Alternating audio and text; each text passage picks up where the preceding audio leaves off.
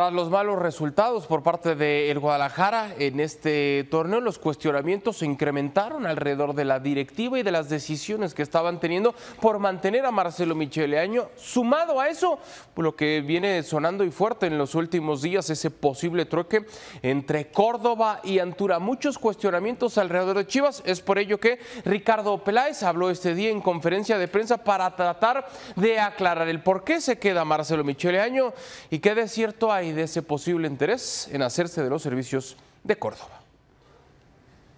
Saludos para todos en Sports Center, muy buena tarde aquí desde Guadalajara. Por fin se llevó a cabo la tan ansiada conferencia de prensa de Ricardo Peláez, donde tocó varios temas con respecto a la actualidad del equipo de las Chivas. Explicó el por qué Marcelo Michele Año sigue siendo el director técnico de la institución, aceptó el fracaso también del torneo pasado, no quiso profundizar mucho en el tema de refuerzos, eh, porque asegura que luego cualquier filtración le complica las negociaciones. Eh, sin embargo, reconoce que va al menos por un par de jugadores para el equipo del Guadalajara y que a estas alturas absolutamente todos, todos los jugadores de Chivas están transferibles. Vamos a escuchar lo que dijo Ricardo Peláez, director deportivo del equipo de las Chivas. Cualquier jugador que sea mexicano, que tenga potencial, que tenga fortalezas que nos eh, mejoren el rendimiento, pero sobre todo que quiera venir a Chivas, parece fundamental, es opción. Entonces, cualquier jugador mexicano que nos venga a fortalecer es opción para Chivas. Y creo que con este plantel ya, pues ya nos devoramos a muchos técnicos de capacidad, ¿no? Como Tena, como Bucetich, como antes Cardoso, eh, técnicos de experiencia y no ha pasado nada. Entonces, el jugador tiene que asumir esa responsabilidad y creo que Marcelo y, su cuerpo técnico lo entienden bien, pero la verdad les estoy compartiendo con base en, en la decisión que tomé que esto no es una improvisación. Puertas abiertas al que se quiera ir, al que no quiere estar en Chivas, y puertas abiertas a los jugadores que tengan las fortalezas necesarias que nosotros detectemos, junto con el cuerpo técnico y presidencia, por supuesto, para que vengan a Chivas siendo mexicanos. Totalmente. El equipo del Guadalajara estará viajando mañana a Isla Navidad donde realizarán trabajos de pretemporada durante los próximos nueve días. Allá tienen programado un partido de preparación contra Colima, después regresarán a Guadalajara y habrá dos duelos más, uno contra Mineros del Ascenso MX y uno más el 29 de diciembre ante Necaxa en Aguascalientes. Es lo que tenemos desde Guadalajara. Regreso con ustedes al estudio. Saludos. Gracias, Jesús Ricardo Peláez llegó en octubre de 2019 a Chivas. Su primer torneo completo fue el Clausura 2020, aquel que terminó suspendido por el tema del COVID-19. En su estancia ha tenido tres técnicos diferentes y en este lapso el rebaño solo ha llegado a una liguilla en la que fueron eliminados en la instancia de semifinales.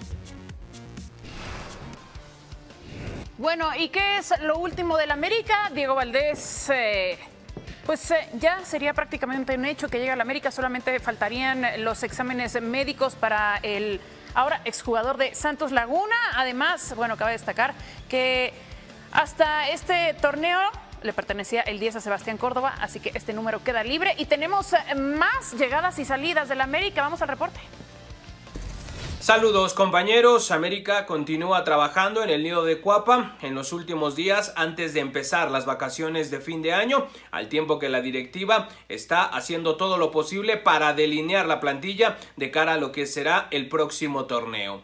Es prácticamente un hecho que el canje de Uriel Antuna por Sebastián Córdoba ya no se llevará a cabo porque el jugador del Guadalajara no tiene la intención de recalar en el cuadro americanista. Ante esta situación, la directiva azul crema ya está sondeando otras opciones de extremo derecho, tanto en el mercado mexicano como en el mercado extranjero, además de que mantiene la postura de tratar de negociar a como dé lugar a Sebastián Córdoba y están abiertos a escuchar ofertas de otros equipos. Por lo que hemos podido saber, Tigres es uno de los clubes más interesados en el canterano americanista, lo ven como una buena opción, pero hasta el momento todavía no hay nada formal sobre la mesa. Mientras que eh, gente como Nicolás Benedetti también está buscando acomodo, al igual que Leonardo Suárez y Renato Ibarra, quienes están señalados a ser los extranjeros sacrificados por el cuadro de las Águilas. En el tema de contrataciones se siguen afinando los últimos detalles con el tema de Diego Valdés y se espera que a más tardar la próxima semana realice los exámenes médicos para que ya se pueda hacer oficial su contratación y se incorpore lo más pronto posible al cuadro americanista.